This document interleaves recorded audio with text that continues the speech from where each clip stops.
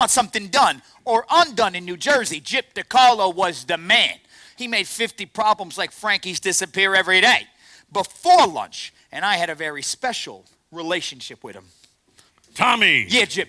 Did you pick up my dry cleaning? Sure, Gyp. Good.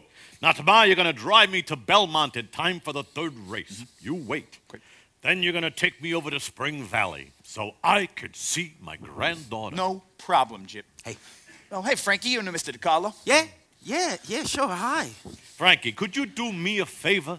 Could you sing My Mother's Eyes? Oh, I'm sorry, I don't do that song anymore, Mr. We put DeCarlo. my mother in the ground one year ago today. So, I would consider it a real favor. Yeah, we could probably do that song. Ah, no, we couldn't. Yes, we could. Tommy, I haven't Mr. sung that song DeCarlo for would like to hear that song. Frankie, Yeah?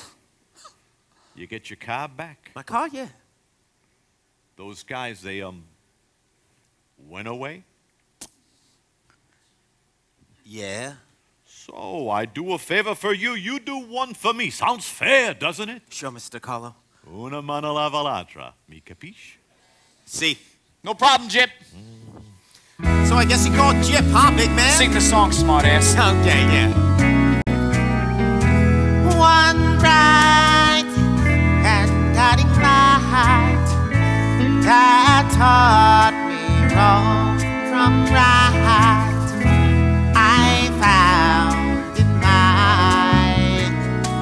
mother's eyes.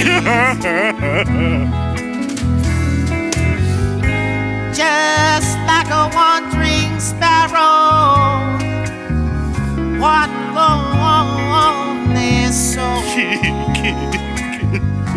I walked the straight and narrow to reach my goal. You're a good boy, Frankie. Here. Here's a claim check. You got a problem? You come see me, all right?